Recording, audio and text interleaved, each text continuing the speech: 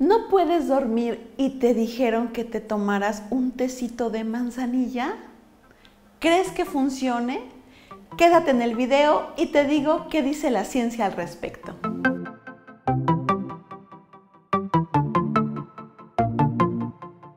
Hola amigos, ¿qué tal? Pues yo aquí súper contenta de estar con ustedes el día de hoy, hablándoles de un remedio natural justamente para el insomnio y para la ansiedad, que es la famosísima manzanilla o también llamada camomila. Eh, que es una plantita, una florecita, la verdad, muy bonita, blanquita, con su centrito amarillito, este, que yo creo que casi todos los, eh, pues yo no sé si todos los humanos, pero muchos, por lo menos hispanos, en algún momento hemos llegado a tomarnos un tecito de manzanilla, ¿no? Y bueno, ustedes justamente me han estado enviando mensajes preguntándome acerca de los remedios naturales que pueden servir para la ansiedad y para la depresión. Y que les cuento, no me parece tan raro porque justamente fíjense que encontré un estudio en donde han encontrado que, fíjense, de la población latina, o sea, de, los que hablamos español y demás, ¿hasta cuántos creen que prefieren o que preferimos tomarnos una hierbita o un remedio natural en lugar de una tableta o algo sintético? ¿Ustedes cuántos se imaginan? Yo me sorprendí, ¿eh? 77%, ¿no? En uno de los estudios que hicieron y que encontraron, o sea, había una diferencia y, resulta que, los latinos pues nos encantan las hierbas, ¿no? Este, y bueno, debe de tener, este, es una cuestión también cultural, definitivamente yo les digo, las hierbas pueden servir, pero bueno, en esas cuestiones de la ansiedad y la depresión o el insomnio hay que tener cierto cuidado.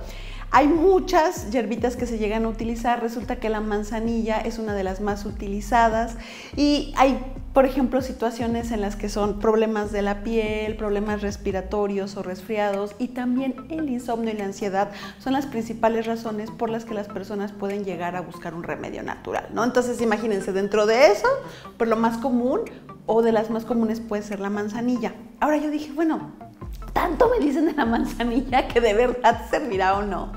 Y que les tengo que confesar, que, me sorprendí, me sorprendí, porque en primer lugar, en, bueno, en plataformas serias de investigación como PubMed, resulta que sí hay eh, varios estudios que se han hecho sobre el uso de la manzanilla o que también la ponen como su nombre técnico, como la camomila, eh, para saber si esta planta puede servir para la ansiedad y para el insomnio. Hay varios estudios que se han hecho y de hecho eso ha permitido que ya se haga hasta un metaanálisis, que imagínense que es como un recuento de varias investigaciones para saber si algo funciona o no, o más bien para saber qué es lo que han dicho los estudios. Y bueno, en este metaanálisis que encontraron, en primer lugar, ¿qué creen? Bueno, que muchas personas utilizan la manzanilla, ¿no? Para la ansiedad y para el insomnio. Eh, encontraron que cuando la comparan contra el placebo, que acuérdense que el placebo es como no tomar nada, o sea, como tomarte un, pues así como un dulcecito o algo así, o sea, que lo comparan con algo que no tenía la, sustancia, en este caso la manzanilla, eh, le fue mejor, ¿no? Le fue mejor a la manzanilla en cuanto a la calidad del sueño. Y en un estudio que hicieron 100% de insomnio, pues no encontraron como cambios tan claros, es decir, era prácticamente lo mismo, ¿no? Entonces, eh, ustedes podrán ver, yo por qué me sorprendí en primera, porque creo que es una planta sobre la que sí se ha estudiado, todavía no lo suficiente, pero sí se han hecho investigaciones.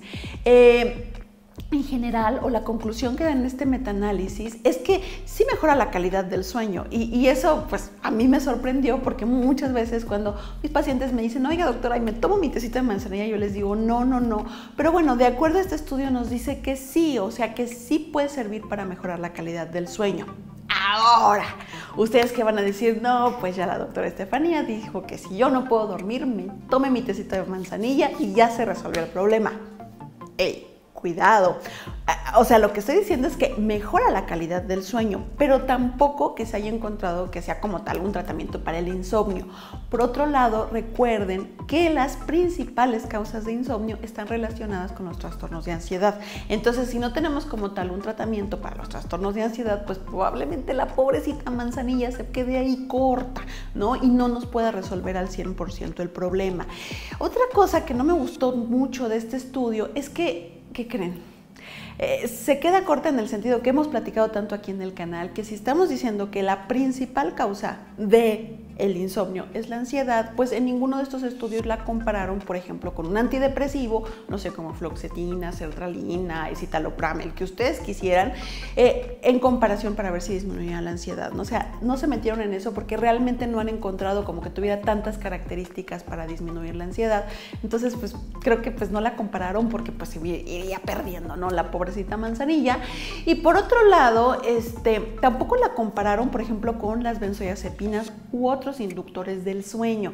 Entonces, bueno, si están pensando que sí es algo que puede servir para el insomnio y ya hay medicamentos que se sabe que pueden servir para el insomnio, hablamos de clonazepam, alprazolam, lorazepam, etcétera, de los que hemos hablado aquí en el canal, pues la hubieran comparado, ¿no? Este, en lo personal, yo que les diré, he tomado la manzanilla muchas veces este, por otras razones. Por ejemplo, recuerdo de niña que me llegaban a dar la manzanilla cuando me dolía la pancita, así como, pues sí, ¿no? O sea, creo que nos ha llegado a pasar. Y pues sí funcionaba. Encontré otro estudio justamente, fíjense, donde veían el uso de la manzanilla y el anís estrella para personas que tenían dolor abdominal o a lo mejor algún tipo de diarrea o más que dolor como aumento de la motricidad, ¿no? O sea, cuando uno siente como que nos gruñen las tripitas y funcionaba, ¿no? Entonces yo creo que sí la manzanilla es una planta que puede tener este, varias características que nos pueden ayudar. Eh, ¿Qué les diría? Tampoco es una planta que pueda tener este, como grandes efectos adversos de toxicidad, ¿no? O sea, es bastante segura a comparación de otras eh, plantitas. Este, pero también creo que no es un tratamiento como tal, ¿no? Para el insomnio o para la ansiedad. A diferencia de, por ejemplo, cuando hicimos aquí el video de la hierba de San Juan y que les decía que ahí sí la habían comparado con antidepresivos y que, por ejemplo, había podido llegar a ser eh, o tener un efecto similar a la floxetina. Por cierto, aquí les voy a dejar el video de la hierba de San Juan para, para los que no lo hayan visto, porque bueno, es otra planta que sí se ha visto que tiene un efecto antidepresivo, ¿no?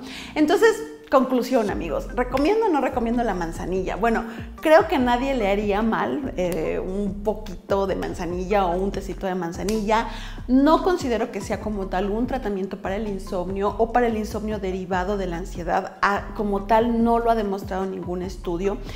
Creo que se necesita hacer más investigación sobre esta planta porque a lo mejor en ciertas o con ciertas características podrían encontrar que pudiera funcionar mejor para este tipo de situaciones. Y por otro lado, este, yo sí les recomiendo, ¿no? O sea, no es una planta que les vaya a hacer daño, pero tampoco la sustituyan como un tratamiento, ¿no? O sea, recuerden que si ustedes tienen insomnio, en especial no que dejaron de dormir una noche, sino durante mucho tiempo que no están pudiendo dormir, esto probablemente sea secundario a un trastorno de ansiedad y para eso hay que acudir al psiquiatra y hay que tener un tratamiento porque seguramente hay muchos otros síntomas que a lo mejor no hemos identificado y que nos están dando mucha lata y nos están afectando nuestra calidad de vida. Así es que no hay que dejarlo pasar.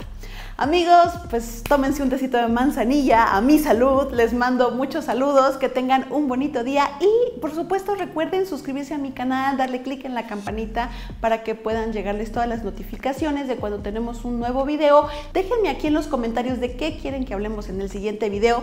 Les mando muchos besos, muchos saludos y nos vemos en el próximo. Ah, y por cierto, eh, no se les olvide inscribirse a mi canal de TikTok, que me encuentran igual como Fanny Psiquiatra. Ahí les estoy mandando videos pequeñitos, así es que no se les olvide. Nos vemos.